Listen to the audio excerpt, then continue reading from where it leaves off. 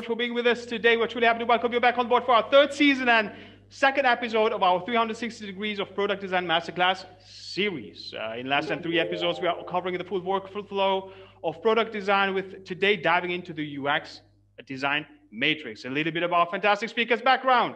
David, Mr. David Renou is managing director at Neopixl, a leading digital agency specialized in development of mobile and web applications in Luxembourg since 2011, combining technical and UX design expertise. Having joined the group Smile, European leader in open source innovation, Neopixl became a knowledge center, delivering more than 40 applications per year in Europe. Neopixl is also specialized in training UX designers from beginners to advanced at universities and corporates with over 1,700 Smilians. They serve their clients at each step of the transformation cycle.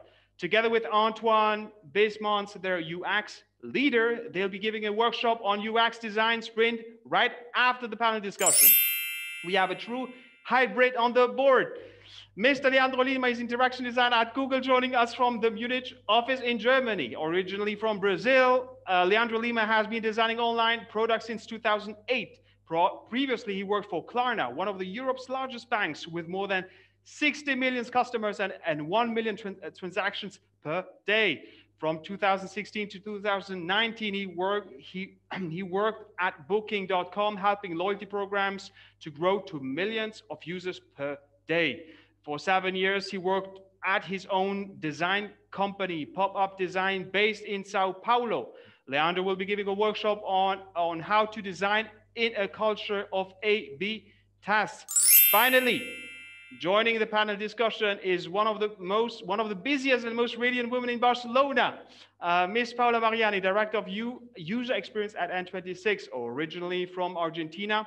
Miss Mariani uh, is a true global citizen with an incredible international track record, to say the very least. Today, uh, today 20, um, N26 has more than 7 million customers in 25 markets that generate over 2 billion in monthly transaction volume. The company employs more than 1,500 employees across eight global off office locations with a full uh, European banking license, state-of-the-art technology, and no branch network. Ms. Mariani is leading the UX design practice globally. Thank you so much, Mariani, for making us the honor to be with us. On the moderator side, we have uh, Mr. Armin Prijaja, uh, part of the customer experience strategy consulting at PwC. He focuses his work on the human experience in a highly collaborative manner. Armin helps companies use design thinking, whether focusing on technology or business, rallying behind a shared vision of the future, reimagined around the experience of their brand. Ladies and gentlemen, Armin, the screen is yours. Thanks, uh, Anthony, and I think I will for sure try to change my uh, surname next time to make it a bit easier for you. I think nobody has ever guessed it, but uh, well, um, thank you for all the, um, the panelists that have joined today. I think we have a really diverse crowd today. I'm, I'm so excited to be able to uh, moderate this panel. Uh, so um, just to kick us off, I would like to do a small icebreaker. So it's a surprise for, I think, everybody here and for panelists. Um, and it's called uh, um, One Superpower. So um, I'll give an example starting with myself. So uh, my superpower is that uh, I speak uh, five languages, uh, but not French, which uh, is very unfortunate if you live in Luxembourg, I can tell you that. so maybe we can go with you, Paula. Uh, what is your one superpower that uh, you could share with us? My superpower is that I'm a Kundalini yoga teacher. So I wow. can rock your emotional world. Nice, nice. Well, thank you. Leonardo, would you like to go next? Yes. Um, so my superpower is that before I became a designer, I was a professional football player. So I know how to be a good goalkeeper, but I'm better designer. Nice. well, we'll just have to trust you on that. Uh, David, would you like to go next? Hello, everybody. So I would say my superpower is uh, really uh, my high motivation, despite any problems I can uh, I can I can feel. Well, that's uh, very good to to have as a UX designers because we are very emotional, get uh, very quickly demotivated, I guess. Uh, and Antoine, would you like to to go? Um, yeah, maybe uh, it's really simple, but uh, maybe just I'm I'm a smiling guy, so that's it. nice. well, uh, uh, thank you, everyone. So um, let's jump right into the questions. So uh, I would like to um, ask you, what was your design? Uh, what was your path to becoming a designer? And then once you discovered that you really want to be a designer, what uh, the path, how did the path to mastery look like after that? Uh, Paula, would you like to tell us a little bit about your journey to becoming a UX designer? Absolutely. Uh, so honestly, I never thought about it. I, I'm actually a computer scientist. So I started being a designer by chance. Actually, okay. I always loved beautiful things and um, yeah and i wanted also to to experience beautiful things in life so i ended up working in an interaction design team as the most technical person and that's how it all started. So for me i've been learning by doing and just connecting like the dots if i look back it was just somehow by chance. And then with a lot of effort and putting a lot of attention to to that it just built up.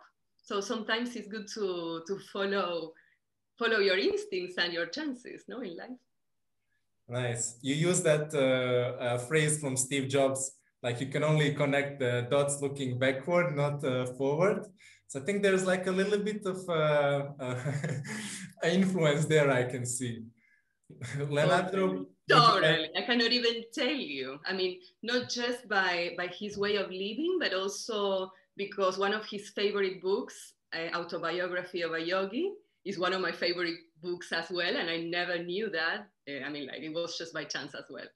So yeah, he has also a strong connection with yoga and India.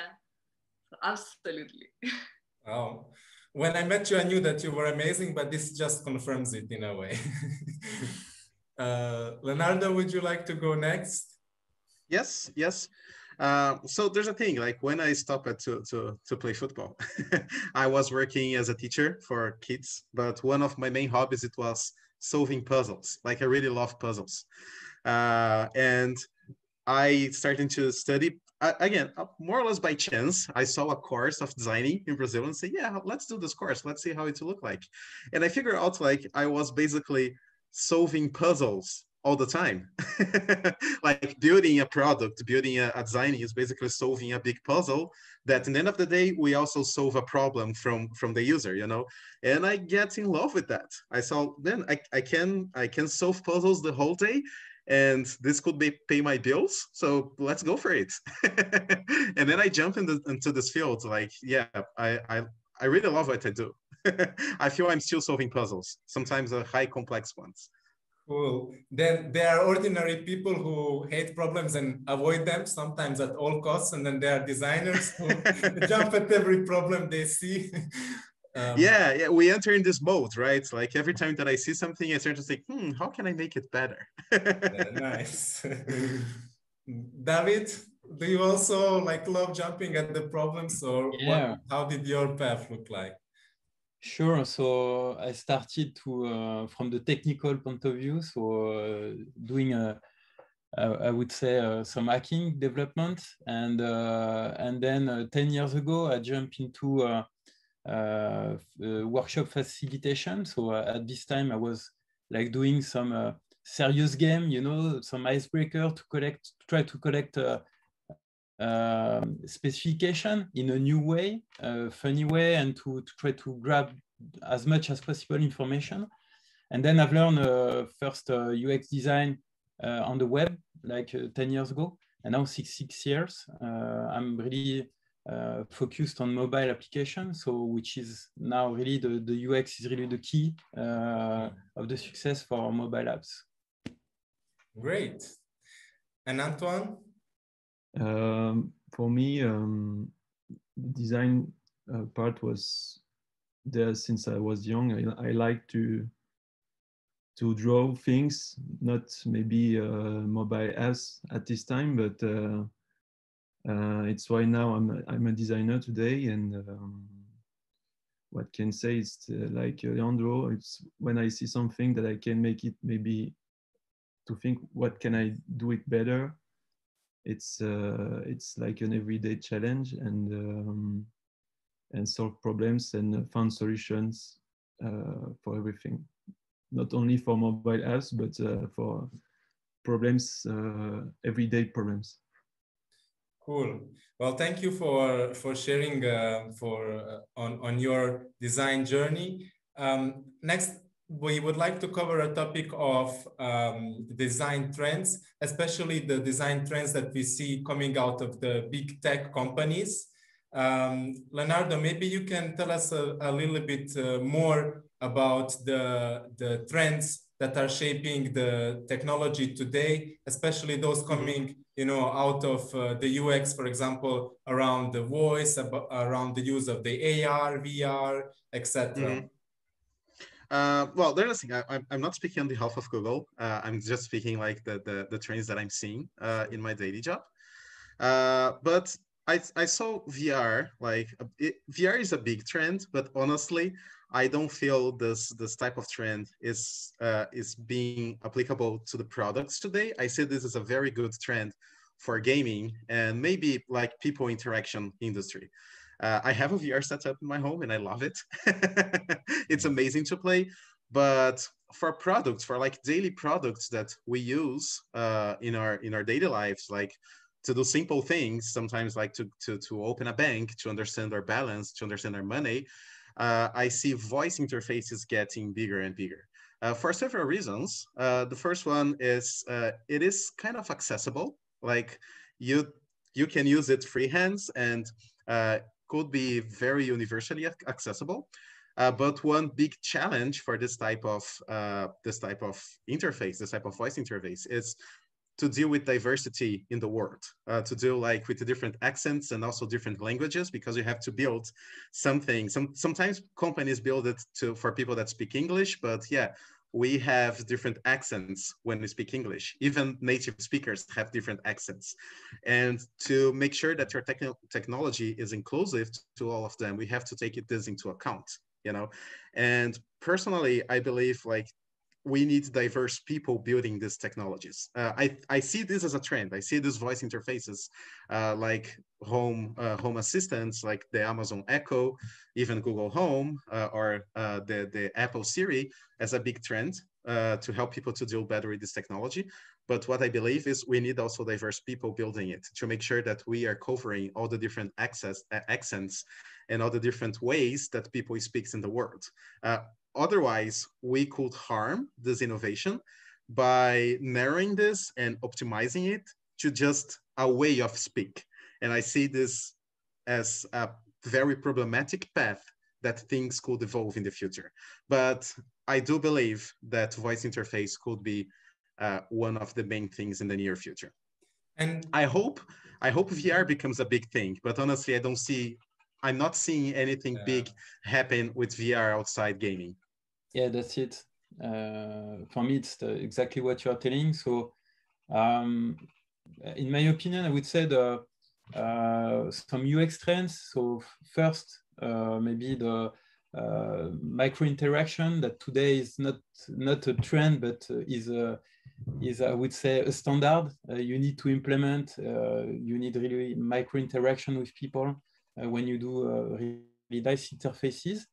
Um, today, it's really, I would say, more uh, easy to develop and I would say less expensive to develop augmented reality. Mm. Um, and uh, and I will maybe talk about some some some cases and what to do with that, uh, what to expect from those technologies. Uh, and maybe the trends for me now in UX would be uh, more everything related to ethical, uh, everything which you, can push some, some green uh, green IT uh, and and make something collaborative with your with your customers, um, which for me is really a key now for the future, and especially for young young people that really are would like to to to to find that on products, and maybe uh, another topic which come back, I would say, uh, after a decade, which is accessibility accessibility uh, uh, for okay for the web, but as well for mobile apps. So really, what has done uh, Steve Jobs with the iPhone completely changed lives of blind people and people using, a, I would say, a smartphone as a as a new tool which completely changed their lives. But now back, uh, I would say there will be more public initiative to, to enforce companies, as we, we saw with uh, GDPR, maybe to, to push more and more accessibility um, for any, any people. And, um, and maybe some concrete example about gamification, VR, AR. So for example, we have, we, we have created for two customers, uh, two, two main apps uh, using augmented reality. Uh, one is for a major retailer in France of virtual makeup. So they were selling makeups and we have creating like a, a virtual makeup so you can test, I would say, uh, your makeup with your phone, uh, which with the pandemic was was a good time, I would say, but was not we we never foreseen the pandemic, uh, so crisis. But as well, people need to, to see that it's not really something that will uh, completely boost the, the sales. It's a kind of fire starter for empathy. So I mean, if you, if you have such a such a functionality in your app, it creates empathy with your customers, and uh, then it will give a, a, good, I would say, a good feeling when you will when, when you will use the app for the first time. But that will really not boost, uh, I would say, uh, technically the um, the, um, the sales, but more create loyalty with them. And, um, and then, so then we, we have created another app with augmented reality. It was, in that case, it was for a company in the industry uh, in the B2B 2C model, you know, and so creating an app to test some some covers on walls. Uh, if you make some renovation in your house, was a good was a good opportunity to um, to create more visibility on the product on the market, help, uh, I would say, uh, companies that then do renovation, but as well for the very end customer, discover the product. So, um, and again, it was not really um, a, direct sales revenues. It was really creating a, a, a reference, I would say, and, and make your, your product known by people. Yeah. Those are very interesting uh, uh, use cases. Uh, thank you for sharing. Um, I, I was wondering around the, um, the scaling of the UX uh, as a practice. I know that uh, Paula, you're a director at the N26, and uh, you you talked a little bit about you know how you come from a different background and so on. I'm wondering how did you scale the UX as a practice inside your organization? because uh, right now uh, N26 is really regarded as one of the companies that offer the best user experience to their customers. And how did you instill this practice of user experience across the whole organization? Well, it's a continuous evolution because teams somehow uh, adapt and flow uh, around the changes of the overall organization. No? So for design at this stage uh, at N26, um, it's uh, more about working closely together between different teams and really identifying with the with the product team more than with the UX team, no? And uh, really really tackling together uh, problems, business problems, user problems. It sounds super simplistic, but it's uh, it's still at our core, no? So we can enable collaboration more, more, and more. But for that, to be able to collaborate, uh, your boundaries have to be also very well set.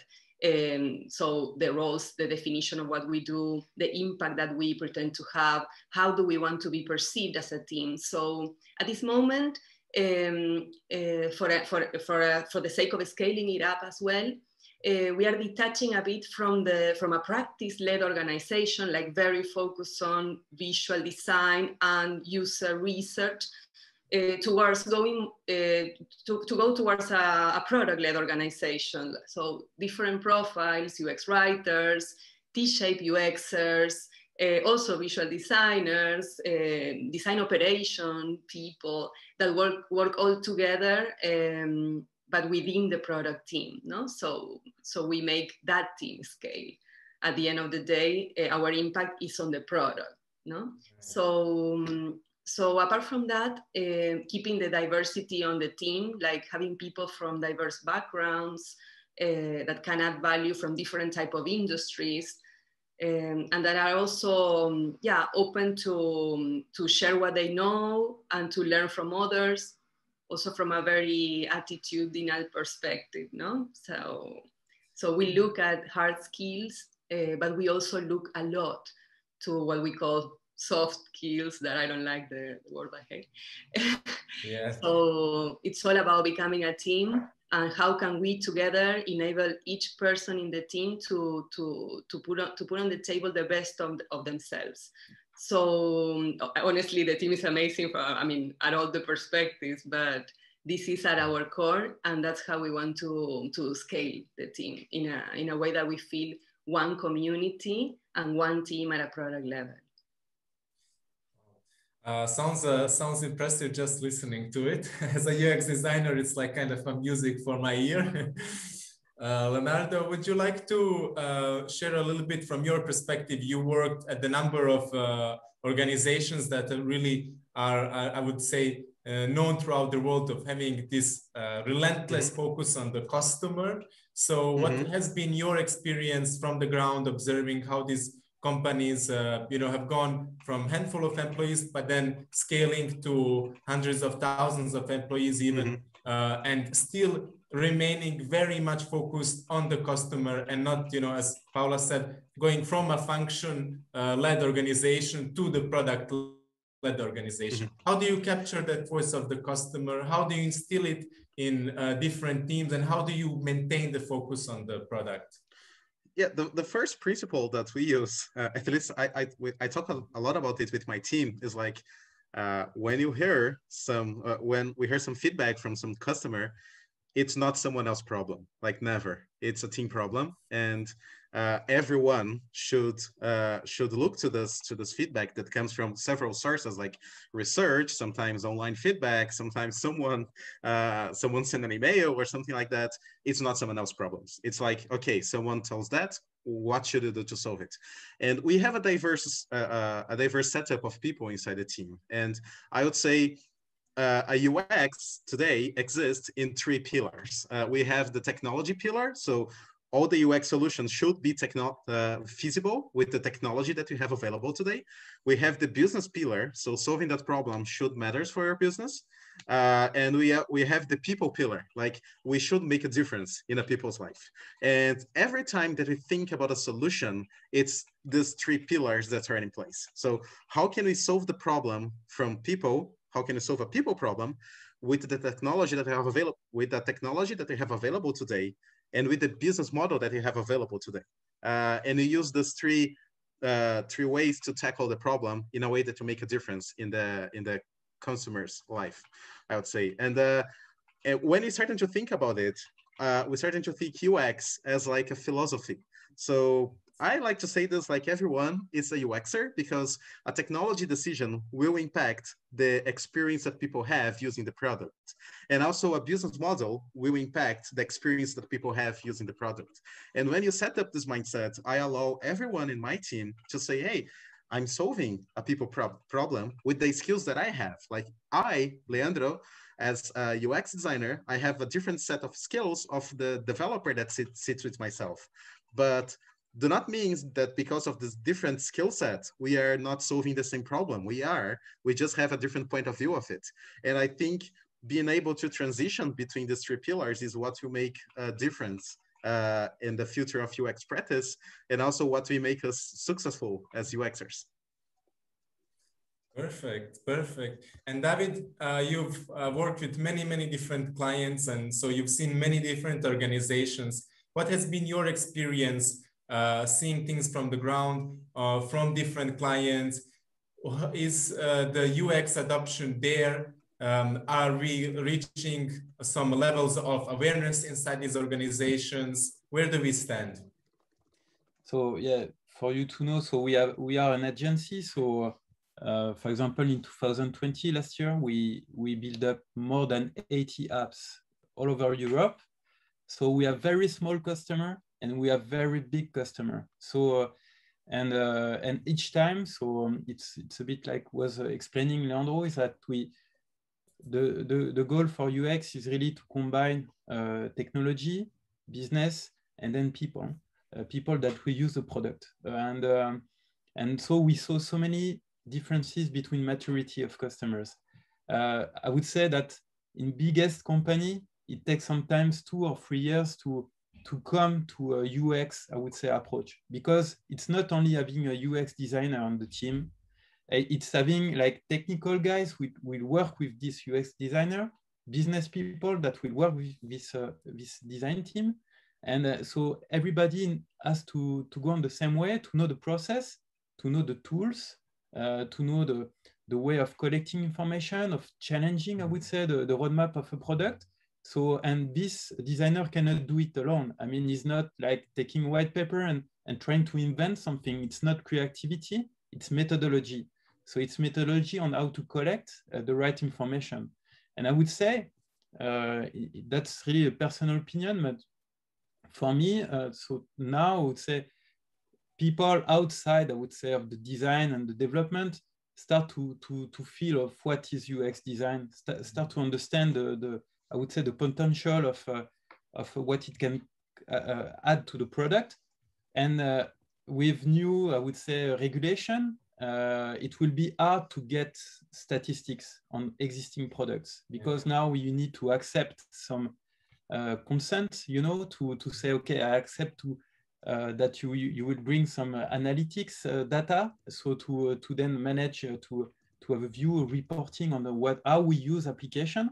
So more and more, we'll have to focus on uh, people. And so meet people, meet customers, uh, trying to use like uh, user group, user test, and imply it, it, will more like a matter of people and less, I would say, um, reporting, analytics, and uh, like what like we did in the old time, you know, because what what we see is that what we expect that we lose like 45% of analytics in the coming year, especially for retailers. So then it's really hard to, uh, uh, from the tool uh, to, to grab feedback. You will have to ask yourself feedback from your customers and, uh, and then to engage some, some rework or some, I would say some, uh, some add-ons on the, on the product itself.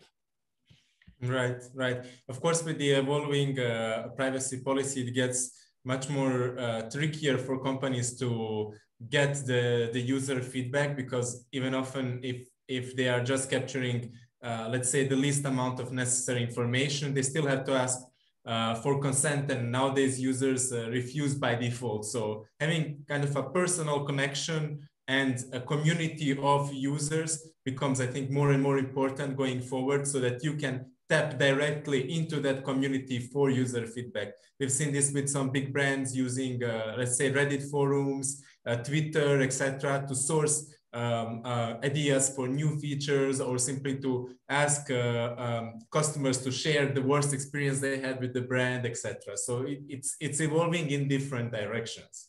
Um, on on our last uh, question for today, uh, I wanted to ask Paula um, how do you manage to recruit great UX talent? And how do you manage to keep the great UX talent? Because um, the market for UX talent is really competitive. It's the supply of the UX talent has been really low. Uh, the, uh, let's say, formal education for the field is just starting to emerge. So we are not uh, mass producing UX uh, designers just yet so um, these profiles really come from diverse backgrounds and disciplines and, are kind of a self-taught most of the time and yet you still do manage to uh, uh, assemble a great team of the UX designers. So how did you do it? What are some tips and tricks that you could share with our audience on attracting and uh, keeping the UX talent? Absolutely. So I, I'm I, I'm on interviews all the time hiring people. Yeah. So that's you know something I can I think I I, can answer you like fresh from today. So uh, one of the aspects that I observe in the candidates is that first they love N26, so it's a place they want to work. And but I can tell you why. Uh, because uh, I think that um, the candidates somehow find a, a, scale up. No, it's a it's a place where they can still shape things and have the opportunity to grow at a fast pace. And I also sense that um, candidates in general, they want to have an opportunity to grow and also to shape things in, in, a, in a way. Another, another thing that caught my attention is that uh, a lot of people I've been interviewing lately, they also want to build their path uh, towards a leadership uh, transition. They want to become leaders on what they are doing. And that is also a very, very interesting point because it's not something that you can kind of read about and learn at university. Maybe you can, but and uh, yeah they want to join for the experience for for the opportunity to learn by doing and for having uh, the exposure to those type of challenges so from our side uh, trying to offer programs and the space for people to develop towards uh, the career growth towards becoming leaders towards uh, growing internally it's uh, something that we are putting in place that we put in place we are, we are also hiring internally first, giving the opportunity to the team to develop and grow. Um, and also, and also, yeah, those points are super key. Another thing that is also important is on the ways of working. Uh, people want to join a place uh, that fits their standards of working, ways of working, like with the PM, with the technical people, that they can kind of solve problems and things like that, as we've been, to, uh, we've been talking about. Um, and another thing is, uh, I think, uh, joining a diverse team, like that you can talk and interact with people from all around the world, and that you can feel part of a community. So, yeah, those are my insights. and to keep people, um, it's about, at least from my perspective, it's about uh, self development. How can we uh, work hand in hand with each person from our teams to help them go through the, the, the problems they have today at a personal level because uh, we cannot create from just outside or using external things. We need to create from inside. So lately, and after, uh, well, now in the COVID situation and all that, uh, it's becoming kind of more and more uh, like a trend or stronger that we as managers somehow have to be coaches uh, to understand the different situations around our teams and around the different individuals. Perfect. Yeah, the self-development topic is uh, it was always important, but especially uh, it has been in the last uh, year or two. Uh, it's been something where we've seen that the UX designers have uh, successfully found their place in the organizations, but as you said, they want now to go to the leadership positions, and this is where they really need uh, the help of and the support from their colleagues. I think this is a very good uh, place to uh, end the, the panel and move on to the quiz. So um, I would like to thank all the panelists. I think we had a great discussion. I've heard so many uh, great arguments from all the side. I hope that for those that are listening, that you will take away something valuable uh, after this uh, panel. Please feel free to reach out to me or to any panelists if you have any additional questions. Uh, we'll be very happy to answer those for you, or uh, maybe once the pandemic is over, you can stop uh, by and have a, a coffee uh, with us at the LHoFT or PwC. Uh, Anthony, uh, please, the floor is yours. Of course, of course, of course. Now we want to see whether you have paid attention to Paula, Antoine, David, and Leandro. So before we go into the uh, one of the two uh, workshop sessions, the UX design sprint with David and Antoine from um, from Neopixl, or uh, building a culture of A/B tests with Leandro Lima from Google. Let's go with let's start with the quiz in about 30 seconds. We already have 13 people registered. Let me do a shared screen so that everybody can follow. Let me do right here. Let's go, and here we are. Let's arrive, let's arrive to 20. Let's arrive to 20. Let's go. It's a fun quiz. You like it. Six questions. Okay, let's go up to 25. Let's go up to 25. I want to see Pranjul Shah in it. I want to see Pranjul Shah in it. Okay, four more. Four more. You got you got 30 seconds. Four more. Come on, guys. Come on. Three more. Three yeah. more. Okay, we start in 10 seconds. Five, four, three, two, one. Let's go.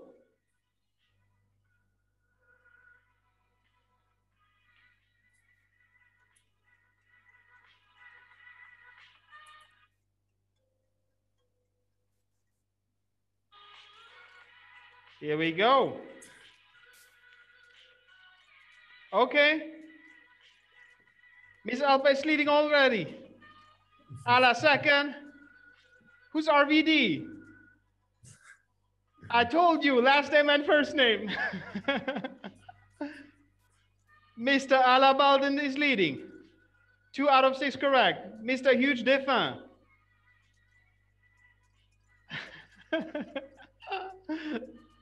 okay, guys. We got AI, RVD, AI, first place.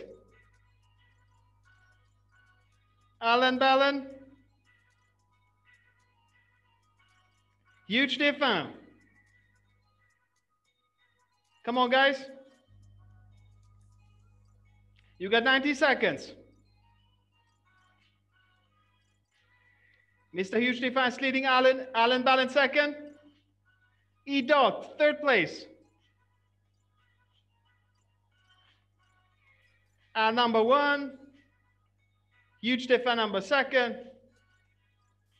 E. Dot. Let's go, guys. We got 45 seconds.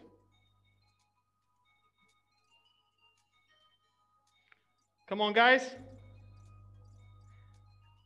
20 seconds.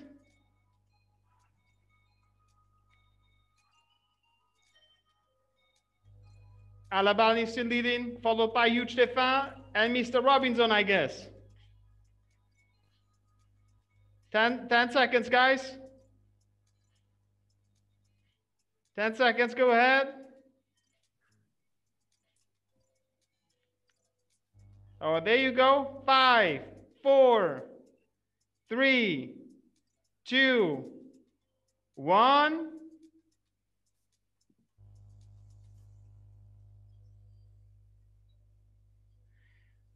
And we have a clear winner, Mr. Billy. Corcotti. there That you was go. fun. Please introduce yourself. You can unmute and unscreen yourself. Please go ahead. Billy. Billy, are you there? Mr. Marcotti, please introduce yourself. Yes, hello. Hello, hello. Who the hell are you?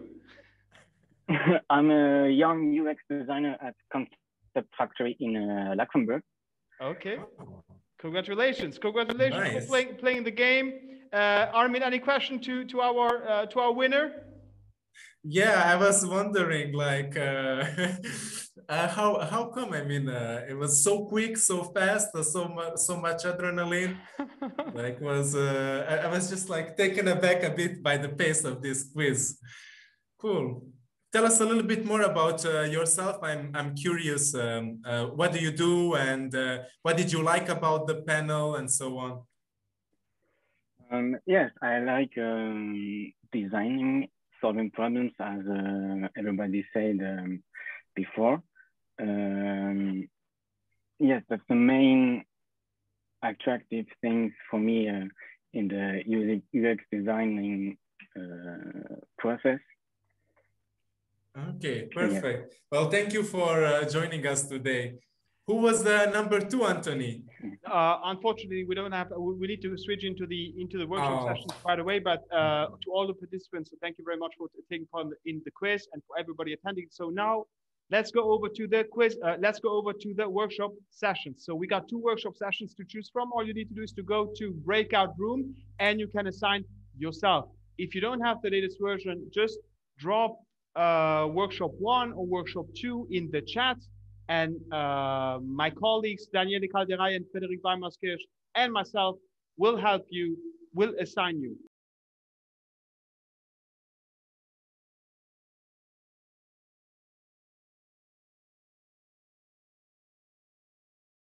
I'm really enthusiastic about it. I'm really enthusiastic about online experimentation, uh, scientific method, and also Formula One. So if someone wants to talk about some of these topics, just ping me on LinkedIn and I'll be talking for hours.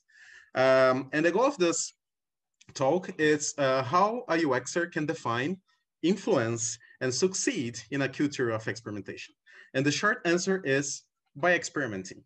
And that's it if you want the really short talk about uh, how to survive in a culture of experimentation.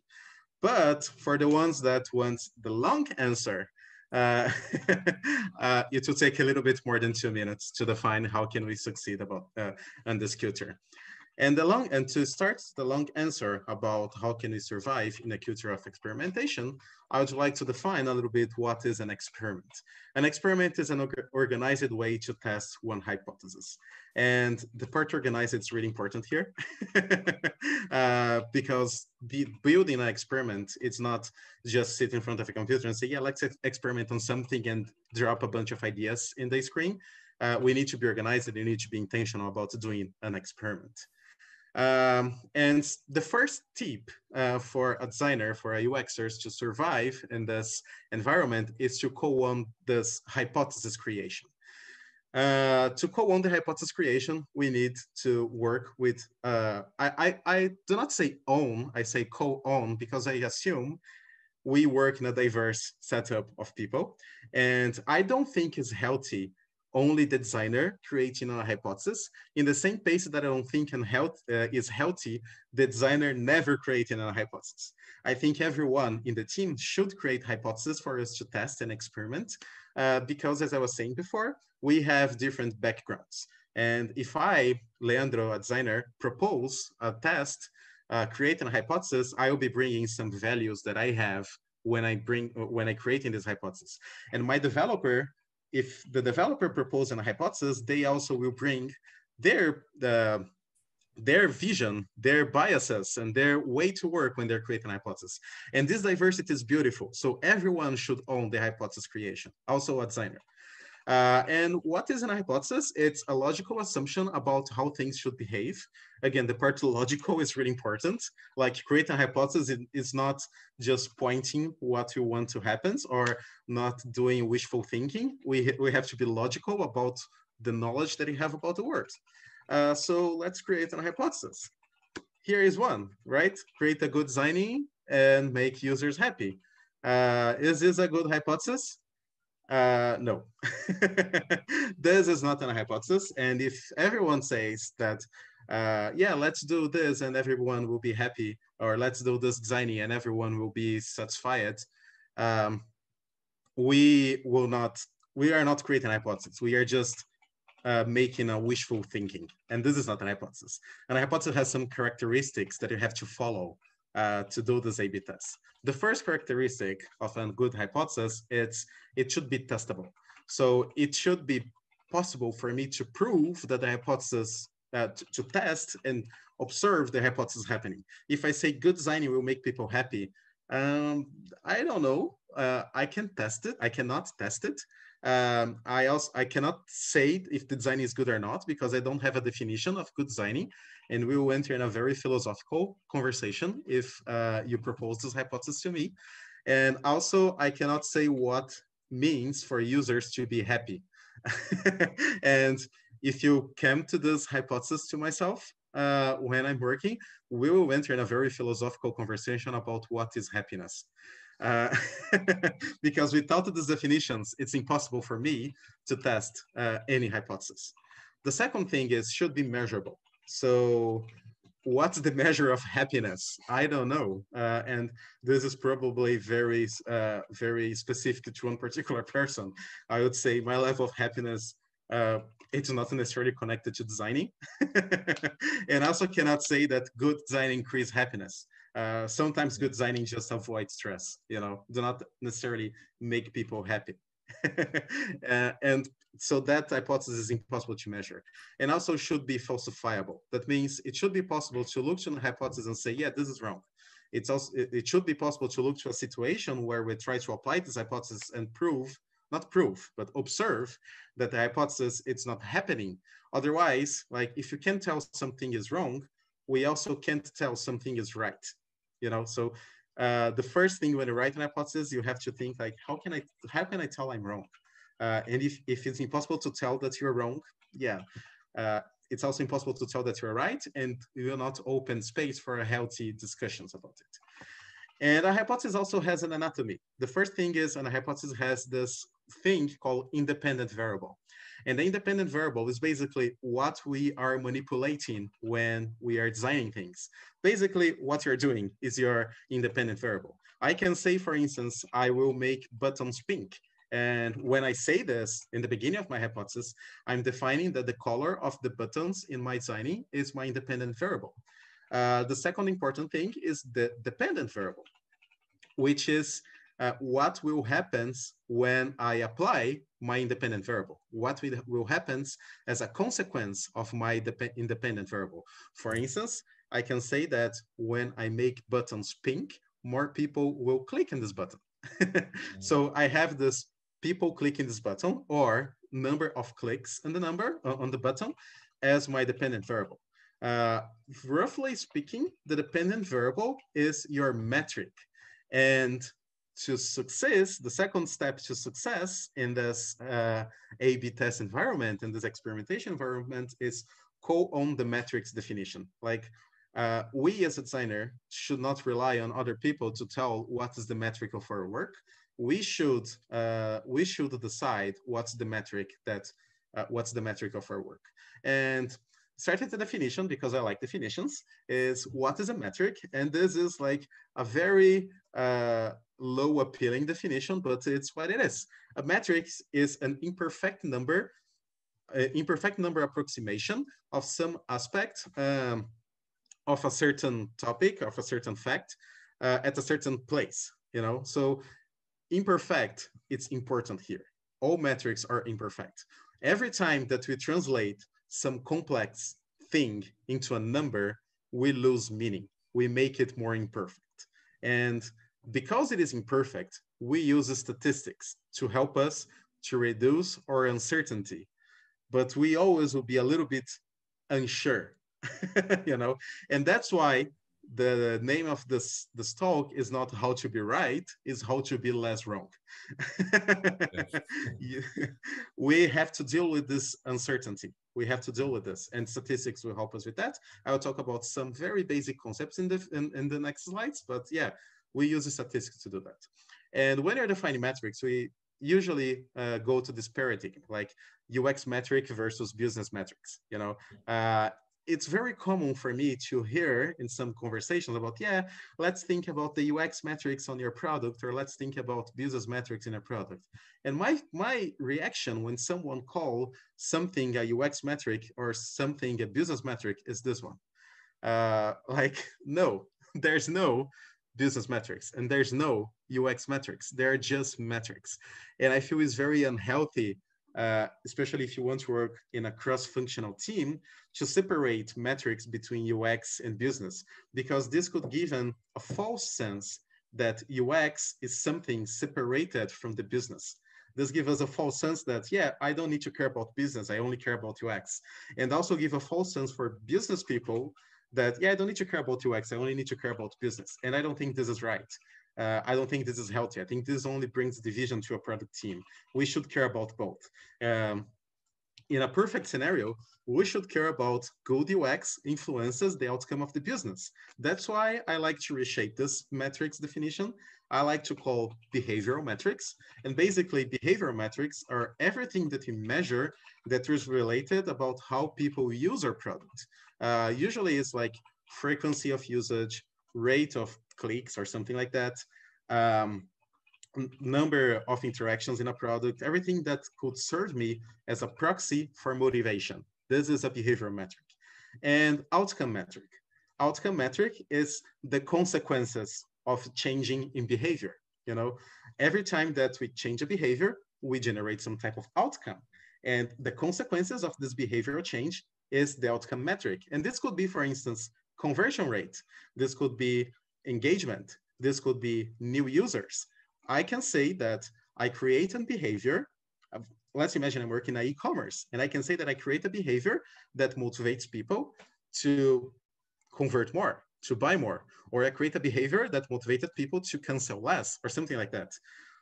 The golden pot here, uh, it's we as a designer should designing to motivate behavior that create a good outcome for people and uh, for the people and for the business.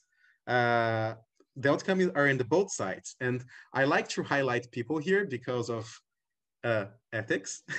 you know, uh, if I designing only to motivate a good outcome, we can end up in a very dark uh, in a very dark way to work because we will care only about I don't know conversion itself, and that's not healthy.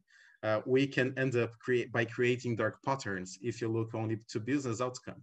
I I say create a good outcome is create a good value for people that use your product and also for the business that is the business model that our product lives you know uh, and that's a law that i i have this every time that i talk about metrics is basically when a metric become a target it ceases to be a good metric a good measure uh, and this is what I was talking before. When just generating some outcome becomes our target, uh, this ceases to be like a good way to measure our work.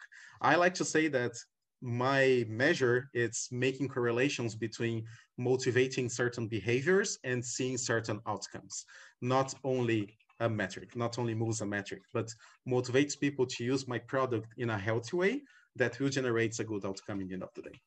Uh, and also when you're creating our hypothesis we should avoid this sharp texas sharpshooter fallacy. Uh, what is that? It's basically a person that never missed a target if they never define one target.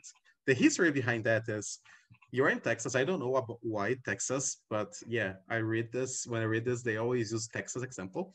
You are in Texas and you see a person sh uh, shooting in the wall, and you see the targets in the wall, and always have a bullet right in the middle of these targets and say, man, this is an amazing shooter. They never miss the target. How they do this? And you go and ask to this person, hey friend, how do you never miss the, tar the target? What is happening? And they say, yeah, Leandro, it's very, very simple.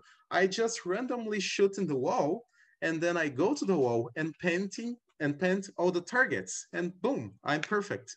Uh, every time we do this, every time that we run an A-B test and don't select any metric.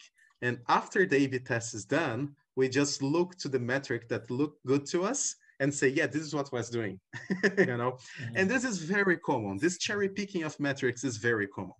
We have to define the metrics before even sit in front of computer and start to designing the screen. I, I, I, I will not say before I start to designing because I feel defining metrics is part of designing, but you have to define these metrics before starting to, to, to, to do anything uh, the metrics will give us the, the, will tell us the intentionality of our designing and also if we're selecting the metrics afterwards the chance of a false positive it's really really big it's really really big so select your metrics first and be stick to that metrics the whole A/B test. If after the A/B test you see that some metrics move it to some interesting uh, direction, you don't pick that metric and say, yo, I did it. You run the A-B test again with that metric become as a main metric. And then you verify if it's really moving, you know? Uh, so let's talk about some, the, the, hypothesis anatomy. I bring some example that we can use. And uh, the example is by writing better error messages, uh, on our forms inside a purchase flow, we could motivate people to fix the mistakes quickly. This will result in fewer tickets on our support. Um, this is the dependent variable, better error messages. Uh, this is what we're doing as a designing, as a designers. This is our intention. This is what we are manipulating, the error messages. Uh, this is the behavioral metrics, people fixing the mistakes quickly. And we can measure it by the time that it, it takes for them to, to realize that there is a mistake there, and then submitting the form again, uh, fixing the mistakes. And this is our outcome, fewer tickets to our support, because this could uh, this could generate value to the company. This could generate value also to the user. Fewer tickets to our support could mean people are less frustrated with the errors in the form. And also fewer tickets on the support could mean company saving money, you know? So this is the outcome that's good for people and it's good for the company. Uh, and this we could test through A-B tests. But there's also this another hypothesis, like by creating an infographics to explain our privacy policy, people will better understand our privacy policy, uh, and this increase the number of people informing that they trust us. Again, dependent variable, we are creating better infographics, uh, understanding our privacy policies, the behavior that we want to motivate, and this is the outcome. More people telling us that they trust in the company. And again, an outcome that's good for people, they trust, they can relax and use our product, an out outcome that's good for us as a company, like we are providing a service that people trust. And after run the A-B test, we have to analyze our experiment. And again, uh, we have to co-own that as a designers. We don't, we can't rely on other people doing this analysis. Why? Again, diversity of backgrounds. Uh, a PM, we do an analysis very different than me as a designer and very different than a, a developer. And we should do this together. First, to create a common language uh, for us. And second, to bring all these different point of views about what happened. And to start experiment analysis, usually start with these questions, right? What data says? Show me the data. What is what is telling? The truth is nothing. Data tells nothing. Never. it's just number. And number don't tell us anything. People say things. We say things. We interpretate the numbers and say things. Uh, every time that someone comes with analysis of an experiment, it's their interpretation. It's not numbers saying things, it's people saying things. So what we can ask instead when someone comes to analysis is, why did you choose this data? Why did you choose this metric as the main metric for you to monitor? How did you collect this data? Because there's several ways to collect this data and every way to collect the data has a bias. you know, if you collect the data in certain part of the product, uh, you did something. If you collect the data in the other part of the product, you have another bias, but, oh, sorry. Uh, no, yes. Uh, and also from who did you collect this data? Because who was your target? And again, if I collect the same data from one type of user, I will have one answer. And if I collect my data from another type of user, I have another answer. So defining who was the source of my data is really important. Uh, and this led us to this theorem called the Bayes theorem. And it's very simple. Uh, I will not enter in, in any math here, but it is a, a probab probabilistic theorem that says that the probability of an event based on a pure knowledge of conditions uh, that might be related of an event. And knowing this, knowing the prior knowledge of the conditions of that event is really important for you to look to the data and say, yeah, I know this looks right, but it's actually wrong. And I'll give you one example. Let's imagine you have a dog and your dog did a pregnancy test with 99% chance of detecting a pregnancy. And the test says your dog is pregnant. Uh, and you only have this information to affirm that your dog is pregnant or not. And you say, yeah, my dog is pregnant. Uh, it's, it's right. Let's start to treat this dog as a pregnant dog. But I'll give you one extra information. I asked to this person, from who did you collect this data? And they told me that, a male dog. this dog do not have an uterus. it's impossible for this dog to be pregnant. Uh, and because of this new information, I know that that test that has 99% chance to be right is actually wrong. They, they, they follow in the 1% chance of being wrong because now I have an information about what user I collect this data and I know the chance of a male dog being pregnant is zero. uh, bringing this to a real life experiment uh, example, let's, oh, I wrote it wrong here. It should be uh, post uh, registering emails. Okay, let's imagine I'm running an A-B test in an email for people that, that registered in our product. So me, Leandro, I create an account in, I don't know, some, some app, some running app, and then I receive an email about, and I'm doing an A-B test about it. And the goal of this A-B test is to engage the new users. But what I'm seeing is new people registering when they receive this, this, this email. And I know the chance of new people registering when they receive this email is very low. Probably the only way of people registering when they receive this email is if someone is wrong with their registration. Like I have two emails and I realize that I did the registering with the wrong email. But increasing the conversion is very, very low. And knowing that I'm collecting new users from A-B tests on this area should keep in mind that, yeah, there's a high chance of I'm being wrong. So maybe I have to use another techniques to measure that. And there are another techniques. Uh, again, I will not enter in the math details, but there are techniques to measure that. But be aware of the probability of your metric to move, because even if a high significance, there's a chance of being wrong. Another bias when you're analyzing the metric, and again, from who you collect this data is this winner bias. Uh, let's imagine a scenario like I love Formula One and I'm analyzing the Formula One car that uh, won the race, and I'm trying to make this car better.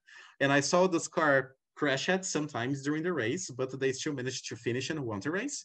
And I say, yeah, I saw this some crashes at some points of the car, so I'll fix these crashes and make this part stronger. Uh, I'm not touching the parts of the car that actually will make them broke. I'm analyzing a winner. I'm analyzing the car that won the race, even though they have some damages, you know. So that damages is not strong enough to uh, make them to do not win. we do this. Let's imagine an NPS survey. We're analyzing the result of an NPS survey. And the survey is on a post-purchase area. So we are asking on the survey, we're trying to figure out why people will drop our pur purchase flow. But there's a thing, this NPS is only in the post-purchase area. All the motivations that people tell us in this NPS to drop the flow, it's not 100% valid because even though with these problems, they manage, they manage it to finalize the, the purchase flow. So uh, all these problems is not problems are not problems strong enough to make them stop to buy something. We need to find people that drop this conversion flow and realize the reason that make them drop. So we are not talking about the winners. We're look to the losers, I would say, uh, and figure out why why did they lose. And this is what where we have to make them better. But the thing is, if you analyze, if you only have the winner to analyze, and coming back to my Formula One car example, and I want to make this car stronger, probably I have to to look for problems in places that the car was not touched. you know, because if I don't know if the car break the front wing and still manage to finalize the race, front wing is not a problem. Maybe I should look to the wheels that was intact during the, the the whole race. We also have the confirmation bias, and this happens when you are doing the analysis, and we are ignoring all the facts that says we are wrong and we're just looking to that unique metric that move it to the direction that we want. Uh, this also could be a focus bias. Uh, we should look to everything. and every, if everyone, everything, all other measurements is telling you you're wrong, and you have just one that tell you you're right, probably this one is a false positive because when you cross-check these metrics with another metrics, every all the other metrics tells the opposite. And you cannot focus in just one. You have to analyze the whole scenario. That's why diversity doing this analysis is important. You know, sometimes I don't look to some particular metrics, nothing uh, it's and it's not bad faith. It's just I was not aware that it was impossible, that it was important. And my PM comes to me and say, hey, Leandro, I'm looking actually to this metric. So let's talk these two metrics together and see what's happening and some very high level statistics uh, statistics definitions and statistics terminologies for analyze our metrics.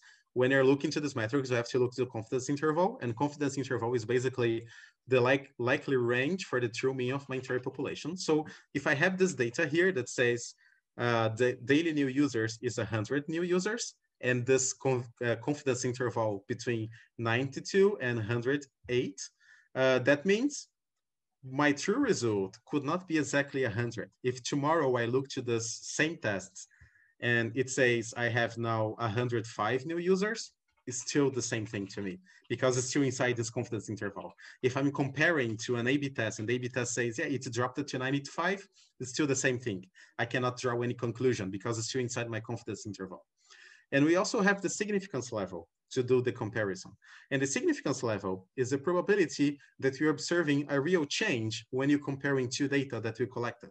And rule of thumb, if there are no overlaps between the two confidence intervals, you're good, you know, because the worst case scenario of my variant, which is 113, is still better than the best case scenario of my base. So there's no overlap between the significance level. But sometimes it does have overlaps. And when it have overlaps, you have to do a significance test that called sometimes t-test. Uh, this usually is represented by the p letter. And we usually work with the 95% confidence.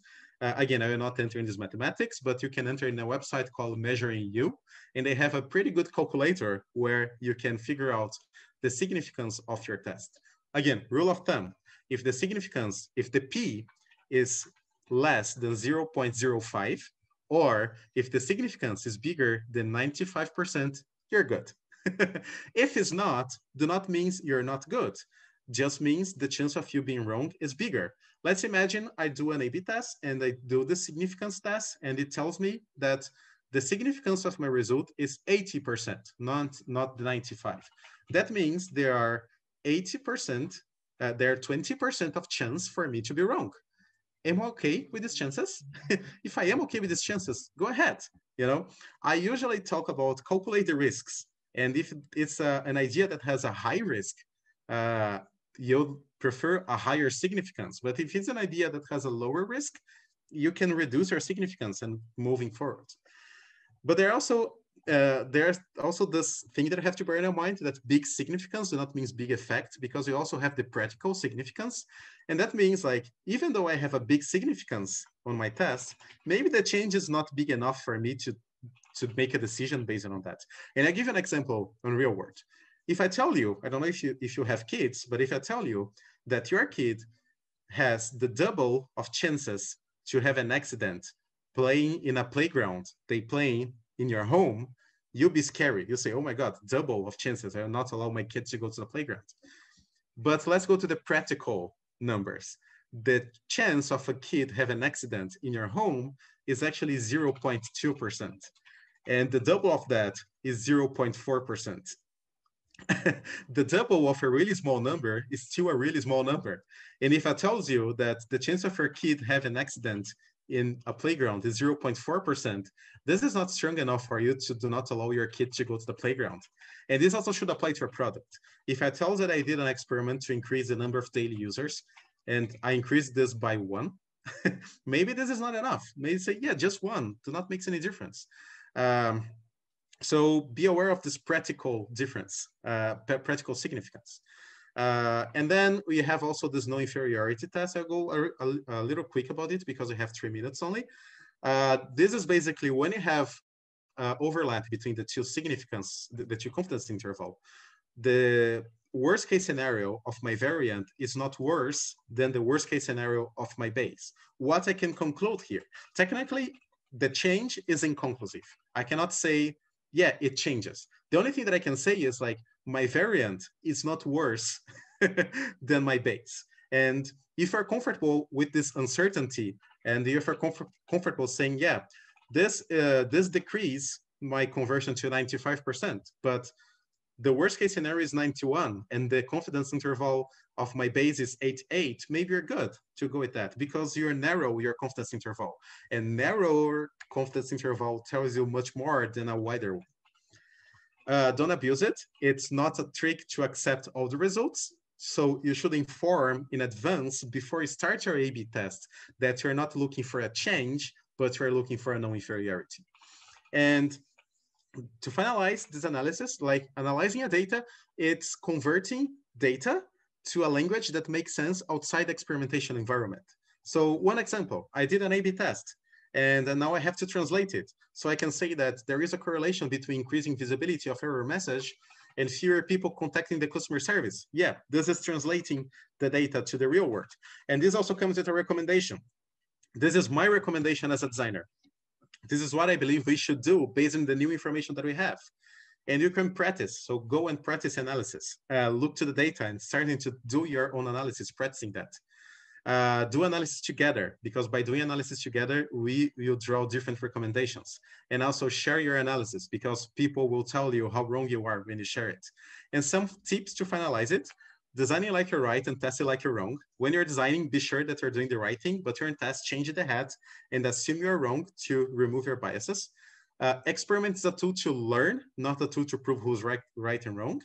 And also, it's not a tool to make decisions. It's a tool to learn uh, it's a tool to give you information. You will make the decision. Don't allow uh, the data to make decision for you.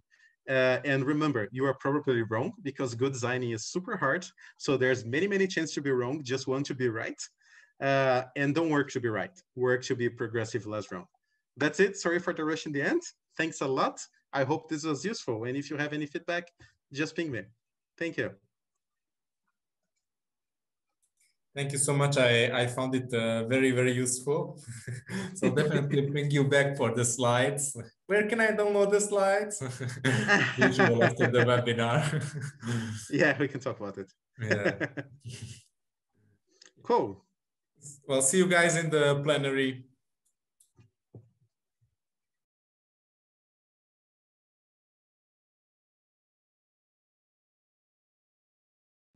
So let's speak about design sprints. So maybe uh, I, I could ask you some question.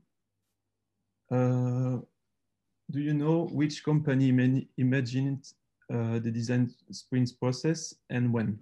Maybe you can just answer to uh, to it inside the, um, the chat.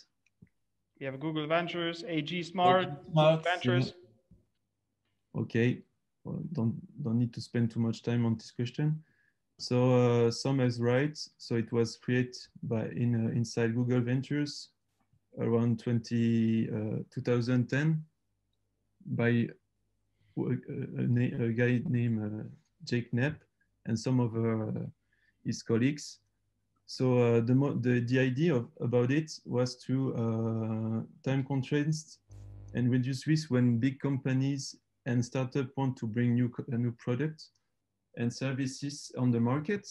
So uh, to not uh, spend times uh, in, and months on working on a product that maybe will not work, they decide to create a fast way to design to, to, to, design a, process and to have uh, result in, in, uh, in few days.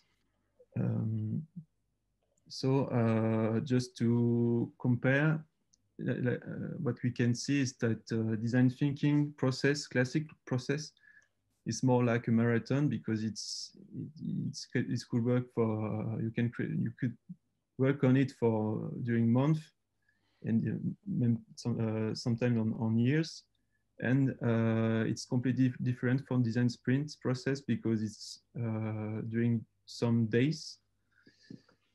Um, what we can see to uh, say too is the um, is not evolving the development uh, part of the of a product.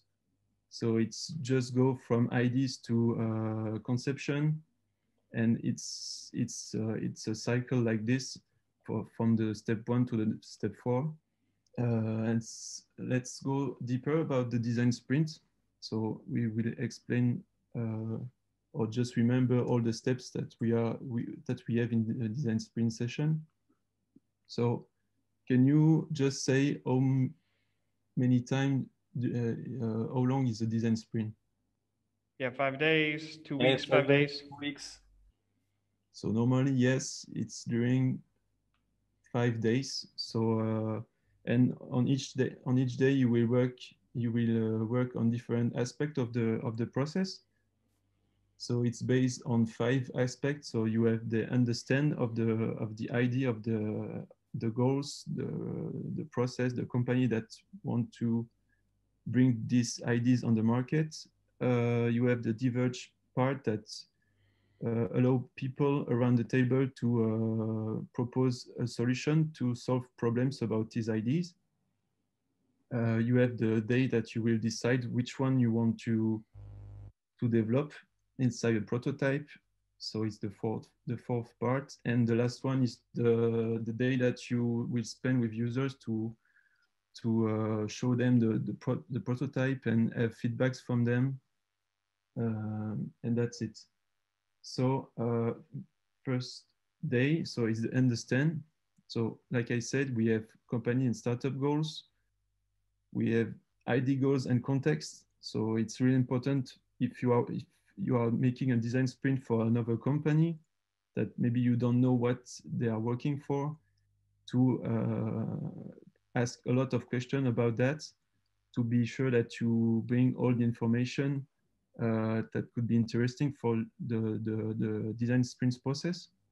Uh, after that, when you have uh, this introduction about the company and the goals of the of the of the the ID, you need to clarify which will which will be the user that will uh, that will be part of the of the product so it's uh, it's uh, everybody will uh, say what he's thinking about if it's uh, female, a male, if it's a father, a, a child, uh, whatever.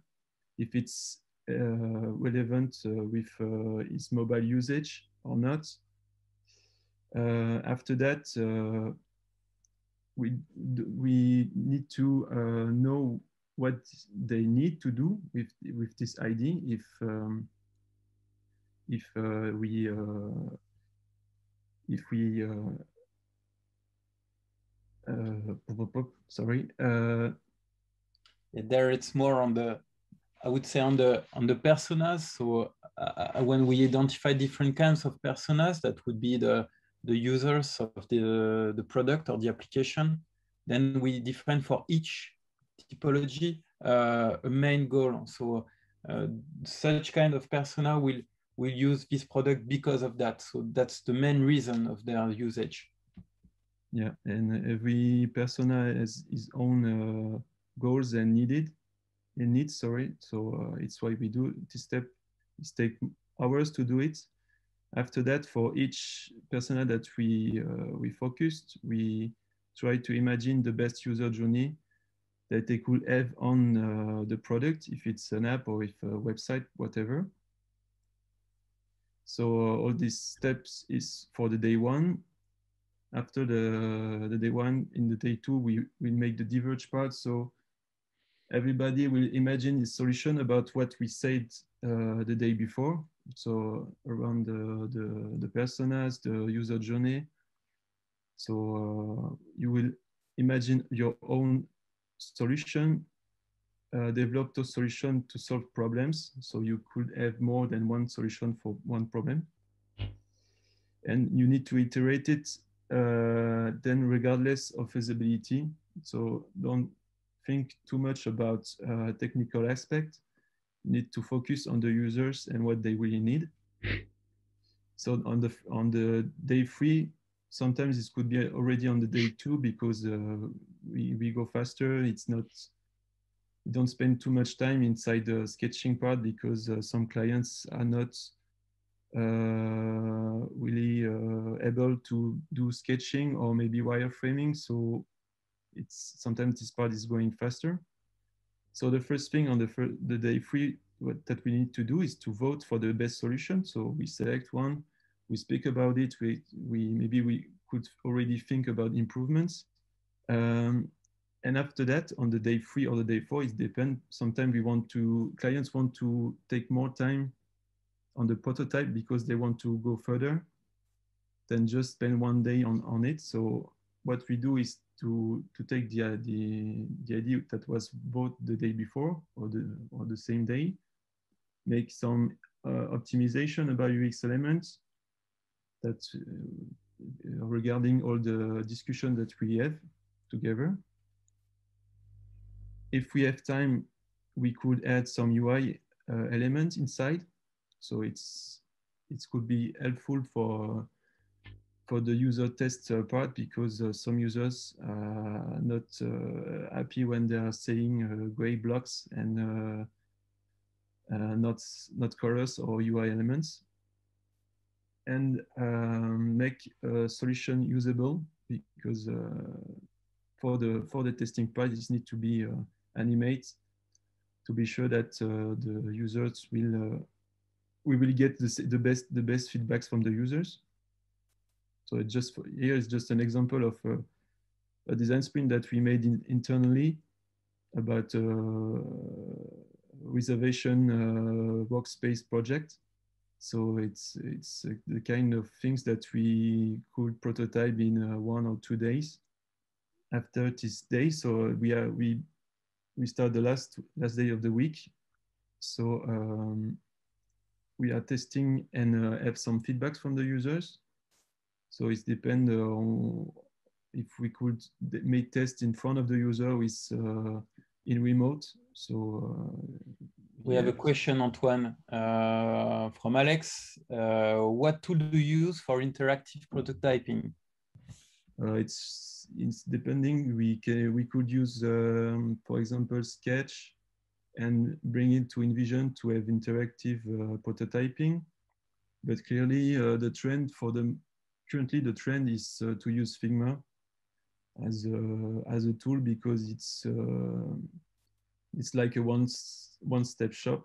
So you can do UX, UI, and after that have a really good interactive prototype that look really uh, looks like a develop, de developed app.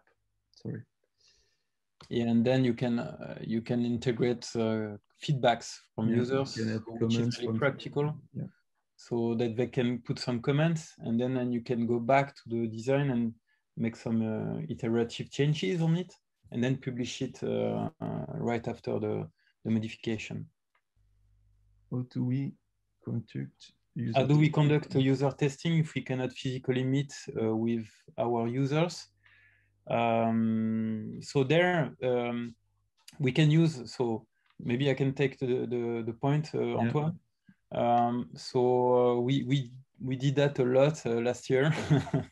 Uh, for sure, we, we, we still uh, have done some, uh, uh, some prototype and, and some testing with, uh, with two people, uh, but it was like uh, a selection of, uh, of close users. So it was like 10 or uh, the day after it was 12 users, but uh, it was not really, uh, uh, the, I would say, the, the, the, best uh, uh, solution to, to, to meet lots of people.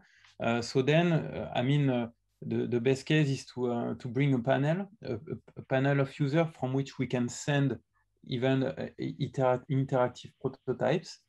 Uh, and then uh, you can even on the, I would say on the web, you can find some uh, uh, some crowd testing platforms uh, from where you can uh, you can engage some people and uh, and and create, I would say, uh, a predefined panel of, uh, of testers uh, that get paid for for testing some uh, some some prototypes or even apps. Like you can make even some testing of websites.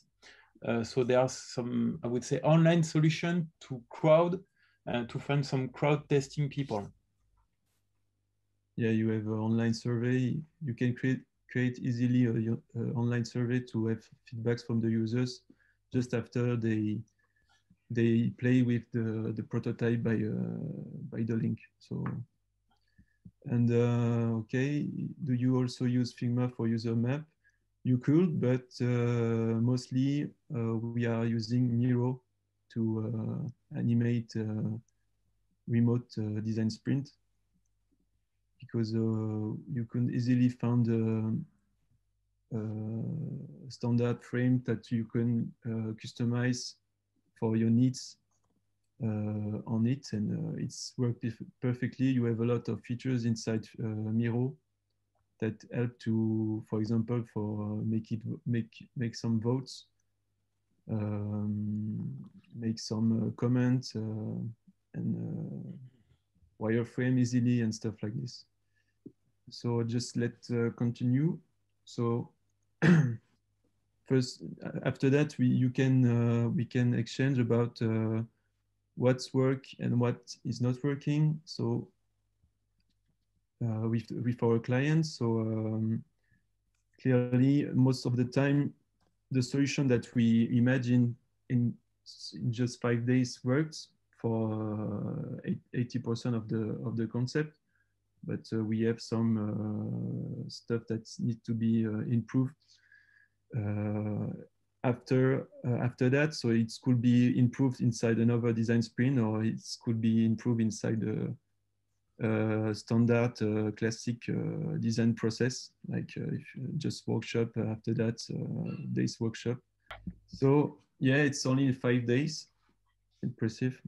Sometimes, uh, like I said, uh, um, projects, just the design part of the project and uh, the ideation part of the project could take months. And in five days with the design sprints, it's really it's take a lot of energy to to go through this but uh, in five days you have a, a solution that uh, could work and could be tested so why we are speaking about design sprint in 2020-21 because it's, uh, it was already created in, in 2010 it's because now we have no choice to work uh, in, in remote. So um, for you, maybe, uh, are you more about the remote team? It's more your things, or you are more like physical team, you prefer to be uh, in front of the people uh, to do that kind of uh, workshops.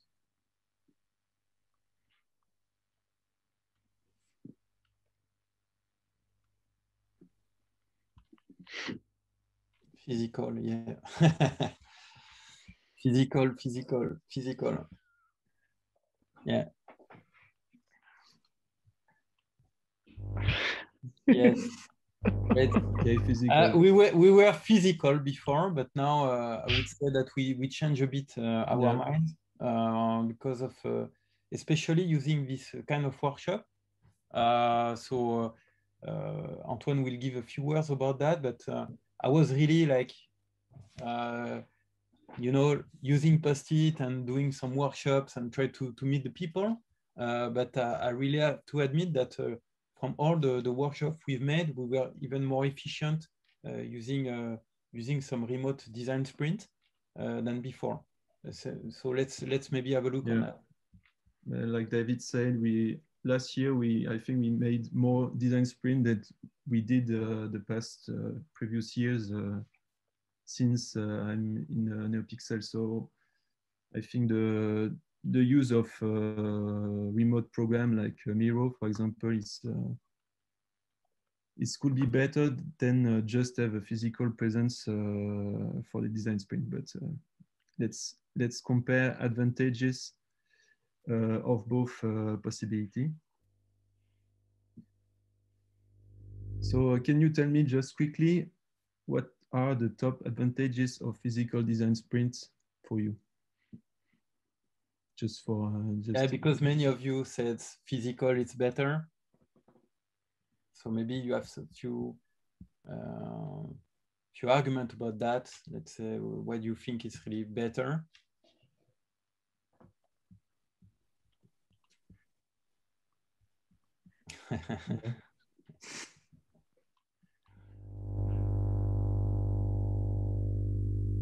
you you yeah people people focusing. Okay.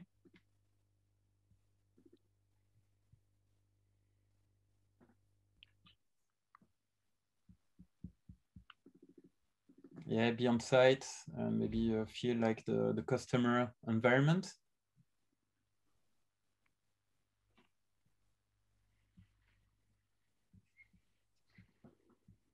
okay. okay So yeah, you you both is right. so um, the first advantage we think is that you could uh, discover the client and the environment about like uh, the company where they are they are working, the people around around uh, around this. You can create maybe a friend friend rela- relationship. I don't know it could be easier to to have that kind of uh, advantage. So yes, you have physical exchange in moments. So maybe uh, you will you will be easily remember some uh, uh, specific details during your design sprint if it's in physical because uh, you relate it to a to a physical moment. Uh, it's you could have a better distribution of speaking time. It's not true uh, every time, but uh, mostly yes, because uh, it's a small panel of people, and uh, we, you try to to share it uh, uh, in the good way. It increased efficiency by being together in a closed room. So you are not disturbing by uh, another things that uh, child child around you or uh, I don't know uh, sound uh, at the uh, outside the, your house uh, uh, dogs uh, dogs outside I don't know but uh, you are more focused when you are close. E- everybody is uh, inside the same room facilitate the maintenance of the intention of each participant. Yes, because uh, like I said, you are not uh, your your your mind and your body is in the room, and you you can see easily if someone is not following and give uh, enough inten int uh, intention uh, on what we are speaking and what we are doing. So uh, same exercise. So what do you think is the top advantage of a remote design sprint for you?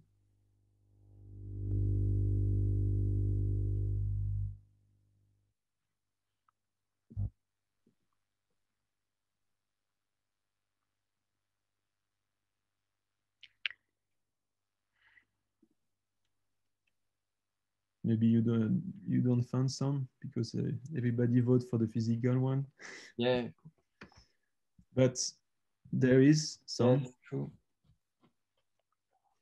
Yeah you you're right maxime. Uh, so first maybe you have less ecological impact so you don't take the the plane or the train or the car to move to the client place. Um, you don't need to uh, to reserve uh, hotel room or stuff like this. You are involving the right people because uh, I think the clients know that uh, he needs to select the, the, the right person and uh, you will not be disturbing but by uh, people that uh, just moving in the outside the room and just want to to go inside just to know what what you are doing and just uh, want to share his opinion. Uh, easier to program because uh, even if it's a five day uh, design sprint, it's easy to block for uh, for the client and for the for us too. Uh, less less wasting time on non design sprint topics. So uh, I mean, you, when when you make breaks, when you are in physical design sprint and you make breaks, you say, okay, it's five, five minutes, guys, just take a glass of water and we, we start again. But uh, clearly it could uh, take uh, 20, 25 minutes, 30 minutes just to speak on uh, the, the topics, but maybe not uh, on, on other project that you are working for on it for the clients or maybe just not about project, but uh, just about uh, food for, for lunch, for example, or stuff like this. Increase each person ideation and proposition. So uh, what we saw, it's um, uh, when we are in physical design sprint, uh, some people are not uh, comfortable to share his opinion and share his ideas. And by the remote uh, design sprint uh, opportunity, um, you have a good way to imagine imagine stuff and wireframes and, and interface on your side and not be disturbing but what uh, people say what we people do around you. And uh, same for what you are thinking. If you are not uh, if you are afraid to speak or take uh, say what you want what you want to what do you think and and uh, and, uh, and stuff like this uh, you can just add some comments and it will be read by the um, by the the team that manage the design sprint uh, it's it's another way to share a proposition or an opinion so that is what I say, optim optimize each opinion by using comments or post-its. And you can record the session and keep track of everything. So if you, when you are physical uh, in a physical design sprint, maybe when you will be back at home, you will lost uh, some top uh, some post-its uh, in the train. I don't know in the in the plane, and um, the the the digital the digital remote uh, design sprint is the best way to keep everything. So the future of it, just to for the end, uh, I know that everybody uh, say that uh, physical design sprint will be uh, the best solution, but for sure, even after the, the pandemic and we when we everybody will be back to work uh, normally, uh, the physical design sprint will be will be not so important and the remote will take the place of the physical one and uh, I think it will be like this for the next years. Uh, maybe one one day we will be back on the physical one for some uh, some uh, some uh, interesting ideas or project, but uh, mostly even is is cost less money for the client and for the company that manage the design sprint. The remote part will be we build the we build the, the main one. So that's it. Thank you for participate, participate to our workshop. I don't know if you have some questions. Or some something to share with us. Yeah. Maybe you experience as well some Yeah. some remote workshop or or you, you can I don't know maybe you don't share the uh, this uh, um, this opinion because I, I personally feel that really for such workshop so I was so much wasting time on trying to uh, to guess what was right written, you know, on the uh, on, on, the on the post-it. It takes so much time then to to fill it back to uh, to a, a numeric, uh, I would say, uh, version. And sometimes uh, I would say you abandon some post-it because you're not, not able to read anymore on it.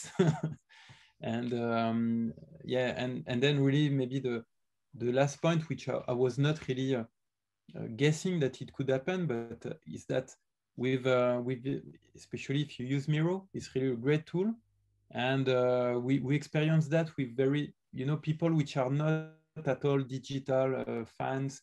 And uh, there was it was really easy for them to to jump into the the tool.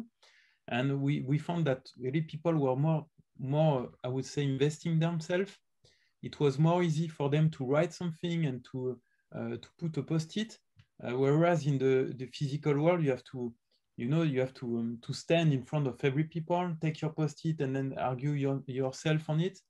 Uh, so um, for the timidity, it was really um, really helpful, I guess, and we we have much more, I would say, ideas and people expressing themselves remotely because they, they manipulate, uh, I would say, virtual post-its and they can write everything on that. Uh, so we really think that it's, it's really more efficient, uh, even if we prefer to meet people physically. But uh, guys, thank, thank you so much, David. It's time to wrap up. We are bringing you back to the we are bringing you back to the main hall for the closing words in 30 seconds. Okay, here's the countdown.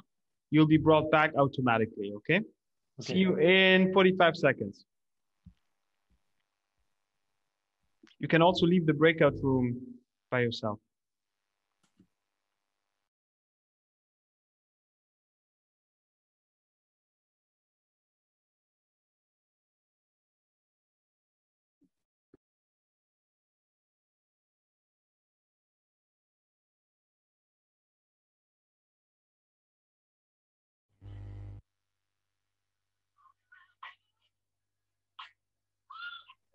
We, we don't hear really well the, the music today, Anthony, even during the quiz. last week it was really, you know, high sound, and now it's just it's like we are hearing from uh, from far away. Ah, I need to bring it closer. Your own playlist, which is a pity. need to bring it closer. So last words. I think we are all back in the plenary. So I'd, I'd just like to thank everybody again for uh, joining us today. Um, I would like to uh, just ask uh, all of the panelists to leave your contact detail in the chat uh, where you would like uh, others to reach out to. So I will share my uh, LinkedIn profile. Feel free to connect with me through LinkedIn. Um, and please, for the other panelists, feel free to share your contact details in the chat so that uh, uh, people who joined us today can reach out to you in case they have any questions, would like to obtain a copy of the presentation or uh, anything else. Anthony?